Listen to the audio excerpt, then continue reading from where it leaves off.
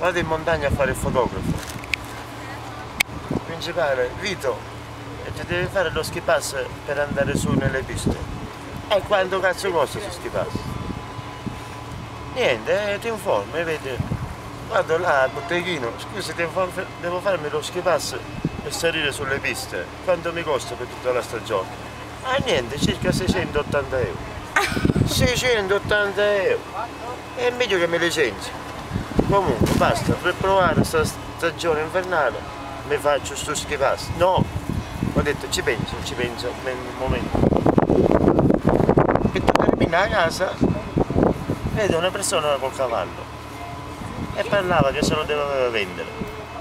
E eh, scusa, quanto ho per questo animale? Si fa 400 euro. Lo catto io. Ma accattai sto cavallo, meschino, quando mi guardava in faccia faceva sempre... abbassava lo sguardo. Già sapeva cosa andava incontro. Avevo un sesto senso. Basta, sto cavallo lo uso per andare sulle piste. La mattina salivo con lui, cenavo, scendevo. Si finisce la stagione. E che faccio ora con questo cavallo? No, il treno non ci posso mettere. e allora leggo lì pensione per animali ci porto il cavallo. Ed era, il contratto è stato 4 euro al giorno acqua e fieno e basta.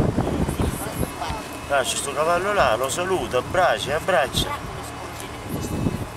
sì 4 mesi quindi mi chiama un tipo della pensione e mi dice oh ci va qui a variare un contratto perché perché?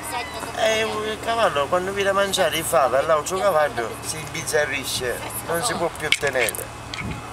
Eh scusate, poi ci ho detto quando date le fave agli altri cavalli, il mio, prima di darci le fave agli altri, il mio ci fate fare una passeggiata, fate smaltire, così lui non ci pensa, è tranquillo.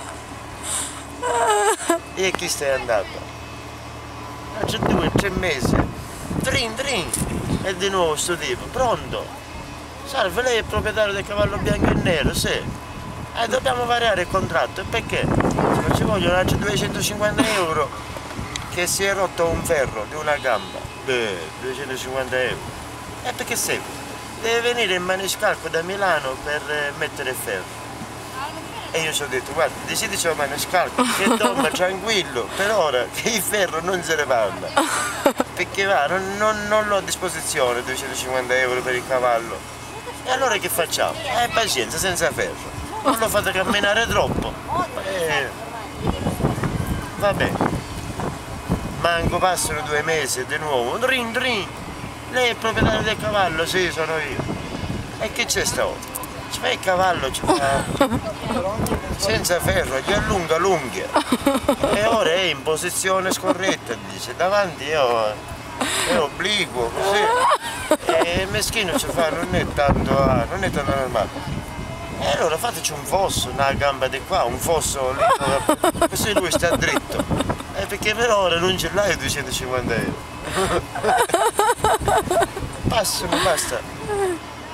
Vado a fare la stagione di nuovo in montagna e vado a, a vedere il mio cavallo. Non l'ho riconosciuto, ci volevo chiedere danni a quelli della cosa. Che cazzo, così mi fate trovare il cavallo? C'aveva una paralisi facciale, che era diventato mm, che non poteva manco masticare il gommo che schifo. Cioè allora che faccio? Che faccio con questo cavallo?